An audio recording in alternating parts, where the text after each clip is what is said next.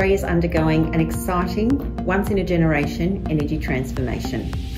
We're fundamentally changing the way that we generate, move, store, and use our energy.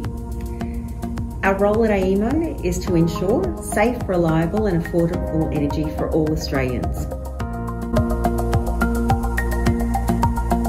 For the Onboarding and Connections team, we want to make Australia the best place to connect in the world. In the last three years, AEMO has registered 83 new projects. That represents around a total of 9 gigawatts of some of the world's largest wind, solar, and energy storage projects. We have a variety of stakeholders that we work with across the energy industry, and we work with them really closely to achieve results that work for them. I'm fortunate enough to have Connie Thomas here with me, uh, who's an engineer in the Onboarding and Connections team. Connie, are you able to share with us what it is that you do in your role? Yes, thanks for having me, Margarita. I'm happy to be here. My role is to be, to act as an uh, advisory to the generators that are connecting to the grid. This means that I make sure they're compliant with the national electricity rules. So when they are operational, there's nothing wrong with the network. I'm amazed at the scale of generation and pace of generation in Australia. So we have currently 59 gigawatts of generation that's connected to the grid and three times that planned in the pipeline for the next 10 years.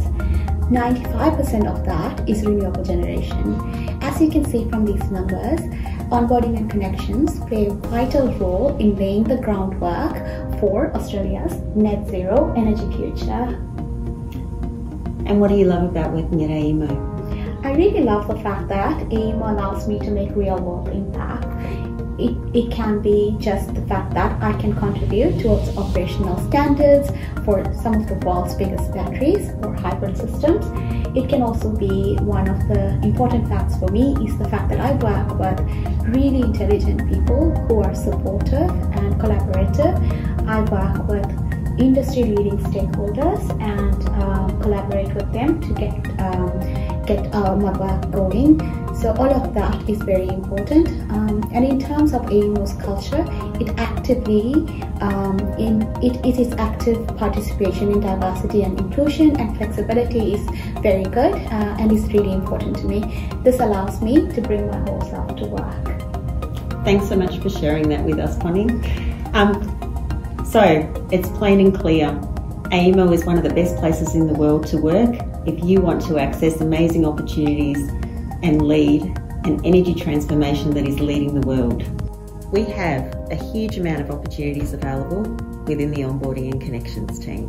If you really want to make a difference and you really want to develop in your career within the energy industry, come and join us.